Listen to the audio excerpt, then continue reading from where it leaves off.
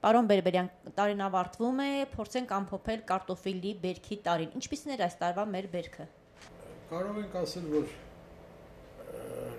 ունենք կայուն բերք, ինքնաբավ ենք հանրապետությունում կարտոֆիլով, մի փոքր արտահանման պոտենցիալ ունենք։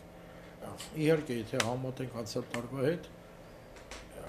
ել ավելի հաջող տարերը, քան այս տարի, որտեղ ունեինք մոտ 65 օր երաշտ, նույնիսկ կարող եմ ասել, որ Շիրակի գոտում 20 օր տևողական 40 աչքան շոկ ունենք որը որ բնականաբար կարծդեր միջին բերքատվության վրա բայց համենայն դեպս парք մեր կարտոֆիլագործներին այսօր գիտեք որ կարտոֆիլի գները մաչելի են 200 դրամի չի անցնում ոնց որ ասել էինք գարդանը մի փոքր կբարձրանա իհարկե համենայն դեպս ինքնաբավենք որևէ խնդիր չունեն կարտոֆիլի ներկրման եւ կարծում եմ որ ապագայում էլ կարտոֆիլագործությունը Հայաստանում կայուն դիրքերի կլինի, քանի որ մասնակիցներ են զբաղվում դրանով, որոնք որ իրենց գործը հմուտ գործելա գիտեն։ Դա մեկ եւ երկրորդը ինչի՞ չի ասեմ, որ կառավարության հետ համատեղ մշակվել է մի ծրագիր Հայաստանում արտահանումները կարտոֆիլի շատացնելու, դա վաղած կարտոֆիլի մասին է խոսքը, Արարատյան հարթավարից արտահանումները շատացնելու դեպի Ռուսաստան։ Մեր կարտոֆիլի 1 հեկտարի միջին բերքատվությունը ինչքան է։ Այս տարի ունենք 35-ից 38 տոննա 1 հեկտարից բերք, միջի բերքատվության մասին է խոսքը, իսկ անցյալ տարի դա 48 էր։ Այս տարի պակաս էր, որ Իհարկե երաշտի հետ կապված պակաս էր։ Չնայած ունենք եւ մի փոքր ցանկատարությունների ավելացում։ Այսինքն այդտեղ կոմպենսացիա եղավ։ Բայց որ այս տարի կարող ենք ասել, որ բնակլիմայական պայմանները կարտոֆիլի դեմ էին եւ միամյա կուլտուրաների եկեք ասենք, որովհետեւ այստեղ դժվեց եւ նոլիկը բանջարաբոստանային կուլտուրաների եւ այլն, իսկ հաջողը խաղողի եւ պտղի համար գիտեք։ Այս տարվա կարտոֆիլի արտահանման մասին մի փոքր մեծ տեղեկություններ հաղորդել։ Այս տարի հարևան հանրապետություններում բարենպաստ եղանակներ եղել կարտոֆիլի համար Չնայած այդ տենդենսը պահում ենք հունվարից կսկսենք արտահանումները, բայց եւ Ռուսաստանի Դաշնությունը այս տարի բավականին շատ կարտոֆիլ է արտադրվել, բայց կարծում եմ վաղած կարտոֆիլի հարցում մենք մրցունակ մրցունակություն չենք ունենա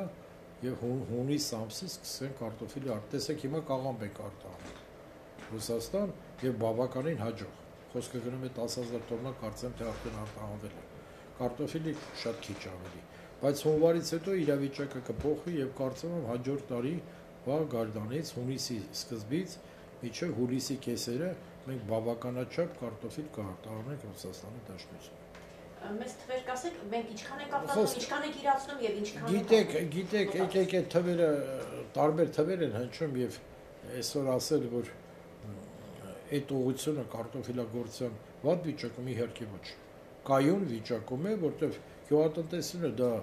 արտադրություն է բաց երկնքի երկնքի տակ եւ կարող է մի տարի հաջող լինել կուլտուրայի համար, մի տարի վիճակ լինել, մի տարի շատ լավ հաջող լինել։ Այնպես որ ասենք որ վատ տարի իհարկե ոչ։ Միջակ տարի էր, բայց անցյալ տարվա համեմատ իհարկե ունենք ունենք բնակլիմայական պայմանների խնդրեմ, որը որ կարծում եմ մեր ֆերմերները իբարք իրենց հաղթահարեցին։ Քանի տոկոսով պակաս արտադրվեց այն։ Մեր միավորումով ասեմ մոտ 10-15% պակաս բերք է Եթե հանրապետությունում օրինակի համար ասեմ, մեր միավորումը միջինը 35 տոննա է այս տարի,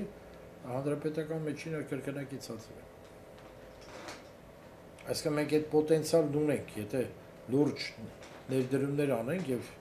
այդ մեր առաջավոր փորձը massայականացնենք կարտոֆիլագործների մեջ, մեր բերքը կրկնակի շատ կլինի։ Կարծում եմ, որ այս տարի բեկումնային պետք է լինի, այստեղ որևէ նշանակություն չունի, դա Ռուսաստանի դաշտության շուկան կլինի, Վրաստանի շուկան կլինի, կամ կողքի հանրապետություններից որևէ մի երկրի շուկա, այստեղ կարևորը որ մեր արտադրանքը լավագույնն է իր որակական հատկանիշներով եւ ուրեմն միշտ էլ